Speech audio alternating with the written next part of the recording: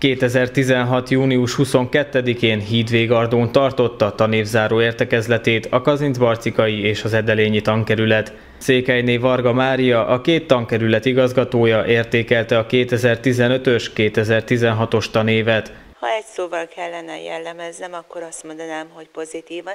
Természetesen emberek vagyunk, voltak gondok és problémák is.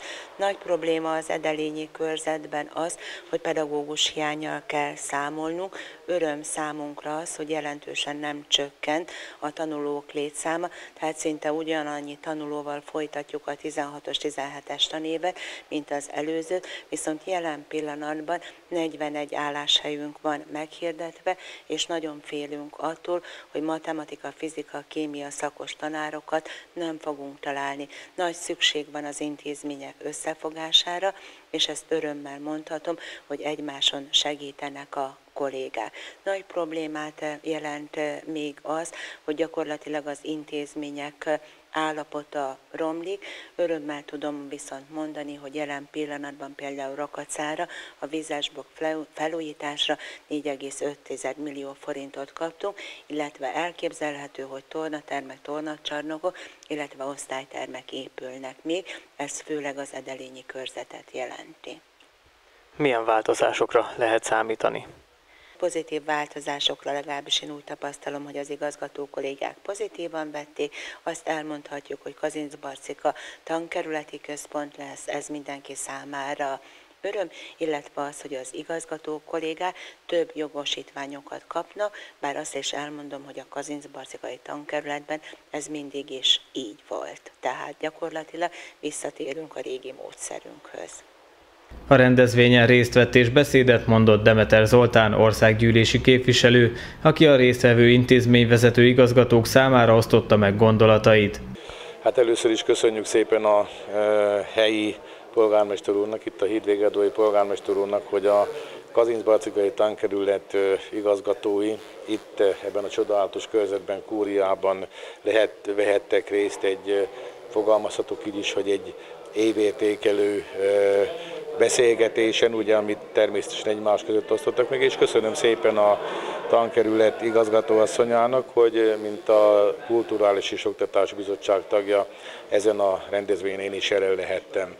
Hát először úgy gondolom, hogy köszönettel tartozunk az igazgató hölgyeknek, uraknak és minden pedagógusnak, hiszen lezáródott egy tanév, és én itt szeretném a nyilvános, nyilvánosság előtt is megköszönni az ő áldozatos munkájukat, amit tesztek a gyermekeinkért, és sokszor mondjuk, hogy a jövő nemzedékért ők a felelősek legjobban és, vagy leginkább, és én úgy gondolom és azt látom a környezetemben, hogy, hogy tényleg hivatástudattal rendelkeznek és oda teszik magukat azért, hogy az oktatás minél eredményesebb, hatékonyabb legyen, és a gyermekeink minél több tudást el tudjanak sajátítani.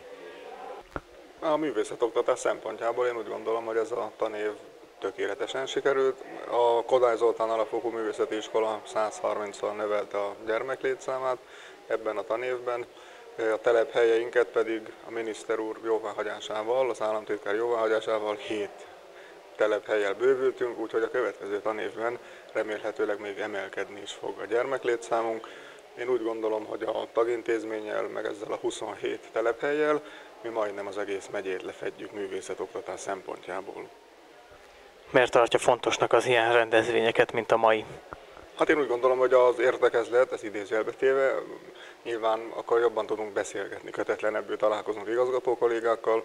Én, aki szinte minden telephelyen jelen vagyok, így meg tudom beszélni az igényeket, és meg tudom, hogy mit terveznek jövőre az ottani igazgatók, igazgatóasszonyok, és hogy mik az igények a művészet, a művészet oktatás terén, milyen igényeik vannak. Hogyan került Hídvégardóra a mai rendezvény, mit lehet erről tudni? Előzménye a legutóbbi pedagógus napi rendezvény, amelyet a tankerület szervezésében Szentpéteren rendeztek, és amikor vittem a kollégákat az óvodából, iskolából, akkor a tankerület vezető asszony, igazgatónő azzal szólított meg engem az üdvözlés után, hogy mi lenne, ha a tanévzáró iskolavezetői értekezletüket Hidvégardóban tartanák. Hát én ennek a felkérésnek, ahogy mondtam is igazgatóasszonynak, hogy nagyon kellemesen ért ez a felkérés, és hát örömmel fogadtam, adtam helyet, és készültünk a mai napra, hogy megfelelő módon tudjuk a igazgatókat vendégül látni a tanácskozáson,